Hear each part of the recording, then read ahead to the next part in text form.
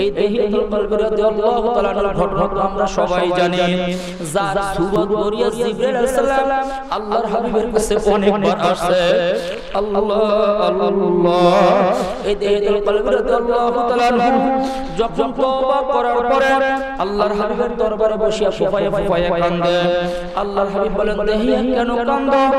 আল্লাহু আকবার হুজুর। আমি কান্দি এই জন্য আমার মাওলা আমার সমস্ত গুনাহ মাফ করছে কিনা? আল্লাহর ব্যাপারে যখন তওবার মতো তওবা করছ, আমার মাওলা তোমার জীবনের গুনাহ মাফ করিয়া দিয়েছে তখন ফুফায়ে ফুফায়ে কান্দে বলে, এখনও কেন কান্দ তাদের বলে, হুজুর, সব গুনাহ কি মাওলা মাফ করছে আমার? বলে, কোন গুনাহ নিয়ে তোমার সন্দেহ? বলে, হুজুর, আমি একটা নয়, দুইটা নয়। আমি সত্তরটা মেয়েকে জানতো, মেয়েকে নিজের হাতে দাফন করছে। আল্লাহ হুজুর শেষের যে মেয়েটার ঘটনা আমি যখন সফরে রওনা করলাম আমার বিবি গর্ভ অবস্থায় ছিল। আমি বিবিকে বলছিলাম বিবি তোমার গর্ভে যদি কোনো কন্যা সন্তান হয় তুমি তাকে জানতো কবর দিয়ে দিও। আর যদি কোনো ছেলে সন্তান হয় তুমি তাকে লালন পালন করিও।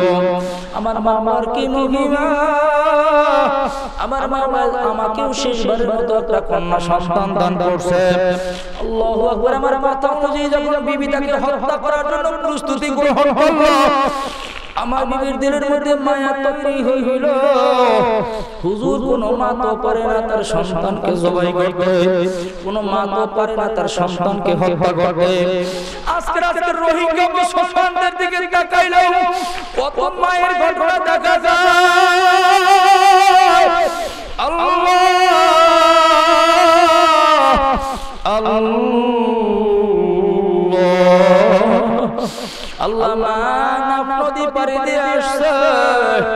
সন্তান বারবার কোল থেকে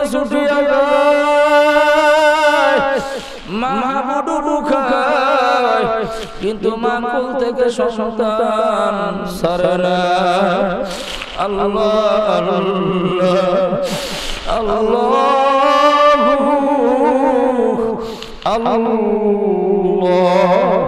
দুইটা, তিনটা সন্তানকে নিয়ে মা নাফ নদী যে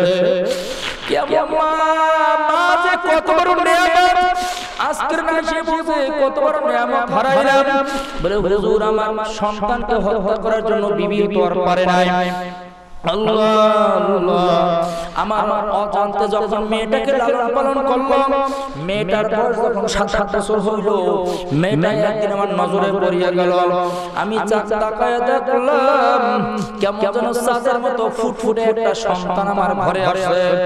মেয়েটার নাম হইল জামিলা।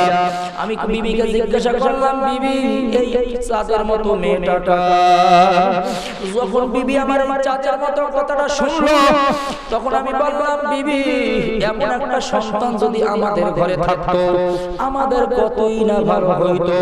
বিবি তখন মনে করছে আমি ভালো হয়ে গেছি। বিবি আমার কাছে সমস্ত ঘটনা খুলিয়া বলব সমস্ত ঘটনা বলার পরে শয়তান আমাকে চক্রান্ত দিয়ে আমাকে হত্যা করার পরামর্শ দিল। আমি তখন পরামর্শ অনুযায়ী কাজ করা শুরু করব বিবিকে বললাম সাজাইয়া দাও ওকে নিয়ে আত্মীয় বাড়িতে বেড়াতে যাব। যখন রওনা করিয়া চললাম, যখন সন্তানকে নিয়ে পাহাড়ের তলদাস দিয়ে রওনা করলাম, কিছু দূর যাওয়ার পিছন থেকে মেয়েটা ডাক আব্বু, আর কত দূর? জীবনের প্রথম মেয়েটা আমাকে যখন বাবা বলিয়া পরিচয় পাইল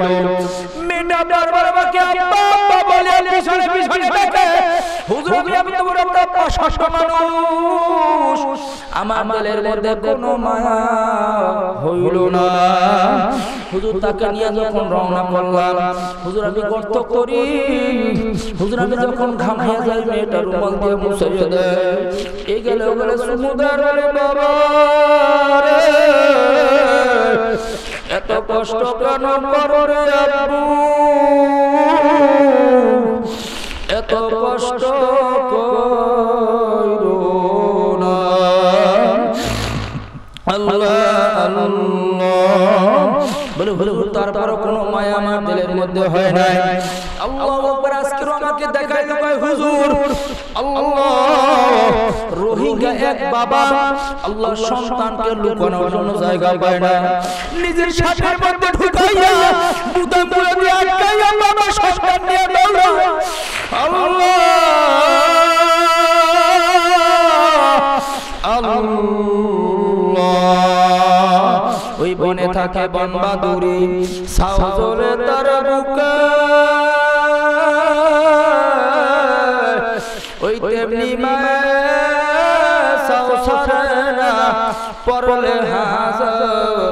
দুঃখে নিজে খায় না মায় সায়ের খাওয়া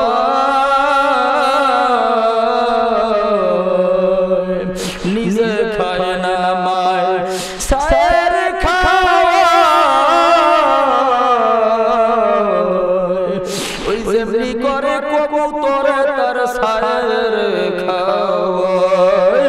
দেখবেন কবুতর খানা খাওয়ার পরে যখন বাচ্চাগুলো চেউ মৌ করিয়া মায়ের মুখের সামনে হাজির হয়। মা সন্তানের মহব্বতে পেটের খানা বাইর করিয়া সন্তানকে খাওয়াইয়া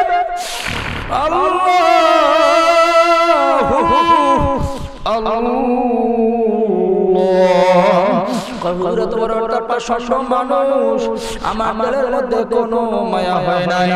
যখন গর্ত করা শেষ হয়ে গেল আমি জামিলাকে ডাক দিলাম জামিলা দেখিয়া যাও কত সুন্দর গর্ত। হুজুর যখন মেয়েটা গর্তের কাছে আসলো আমি মেয়েটাকে যখন ধাক্কা মারিয়া ফেলা দিলাম মেয়েটা খপ করে মারি পা ধরে ধরলাম দরিয়া বলে আব্বু তুমি আমার মাইরো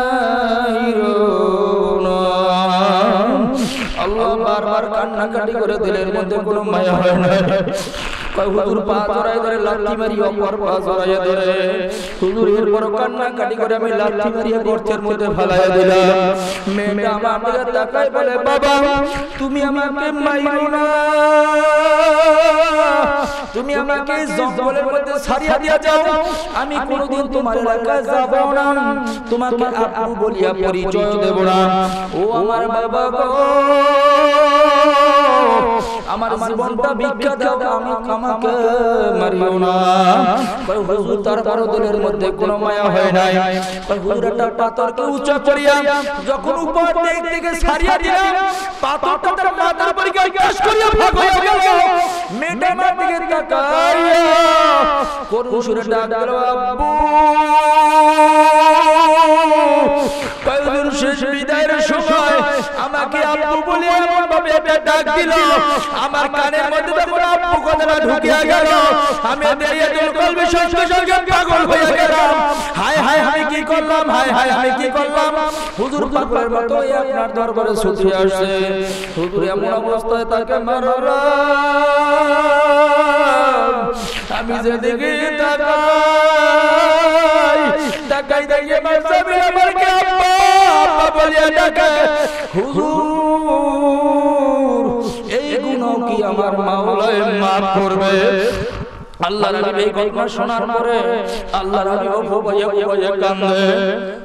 দুই চোখের পানি দিয়ে দাড়ি মোবারক ভিজিয়ে যায় আল্লাহ নবী কান্দে বলে এমন কাজ কি কোনো মানুষ করবার পারে? কেমন করিয়া মারলে হে গায়াতুল কলবি যখন তুমি তওবা করার মতো তওবা করছ আমার মাওলায় তোমার এই গুনাহ মাফ করিয়া দিয়েছে জোরে কান সুবহানাল্লাহ।